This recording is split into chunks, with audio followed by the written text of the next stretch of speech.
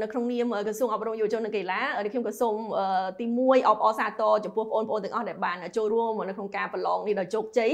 ហើយទីហើយអ្វីដែលសំខាន់គឺចង់ឲ្យបងប្អូនទុកចិត្ត ផ្ដល់ទំនុកចិត្តនៅក្នុងដំណើរការនៃការកែក៏ដូចជាដំណើរការនៃការបូកស្រង់នៅក្នុងពេលបន្តទៀតនេះដែរជឿថាអ្វីដែលក្រសួងអប់រំយុវជននិងកីឡាបានធ្វើនិងកំពុងធ្វើនឹងគឺដើម្បីព្យាយាមក៏ដូចជាធ្វើយ៉ាងណារក្សាឲ្យបាននៅគោលការណ៍អ្នកចេះគឺជាប់ដែលបងប្អូនបានជ្រាបអញ្ចឹងតកតងទៅនឹងចំណុចនេះសូមឲ្យបងប្អូនរងចាំ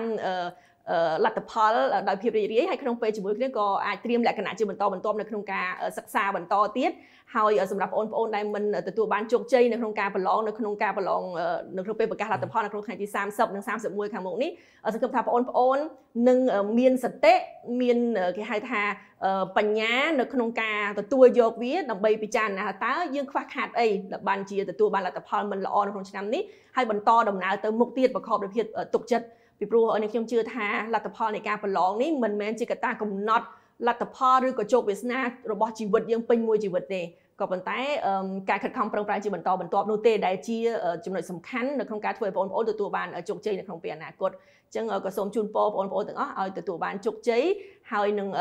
ទទួលបានលទ្ធផលនៃការប្រឡងនៅរាជធានីភ្នំពេញក៏ដូចជាខេត្តកណ្ដាលនៅក្នុងថ្ងៃទី30ខែតុលាខាងមុខនឹងទទួលបានលទ្ធផលសម្រាប់ទូទាំងប្រទេសតែម្ដងនៅក្នុងថ្ងៃទី31ខែតុលាខាងមុខនេះដែរ